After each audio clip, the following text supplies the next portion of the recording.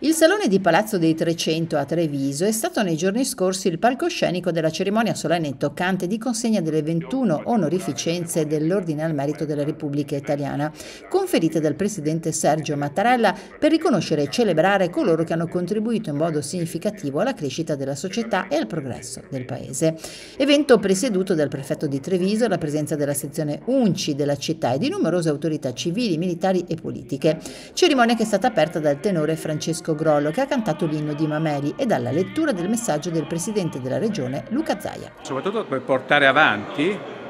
questa importante cerimonia che prevede anche il nostro canto degli italiani, il nostro inno nazionale, che va spiegato e va detto che è l'unico inno al mondo che ha due protagonisti,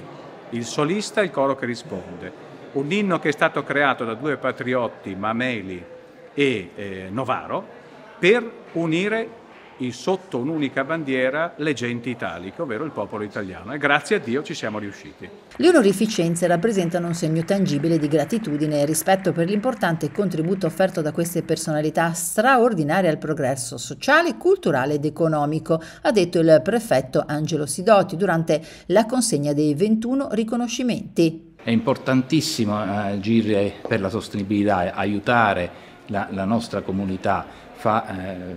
condividere gli stessi valori in un momento di difficoltà, che, cioè abbiamo difficoltà all'esterno con eh, il conflitto bellico attuale in Ucraina, le, una possibile crisi, speriamo di no, in Kosovo. E poi sul, all'interno dell'Italia abbiamo da affrontare l'attuazione del piano di resilienza e ripresa, abbiamo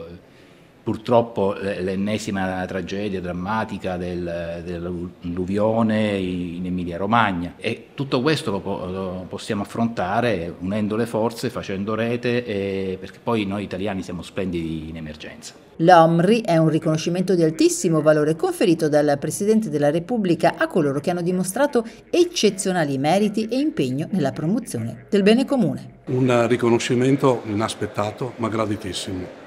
che dedico alla mia famiglia che mi ha molto supportato e alle centinaia di dipendenti che ho incontrato in questi 50 e più anni di lavoro che hanno appoggiato in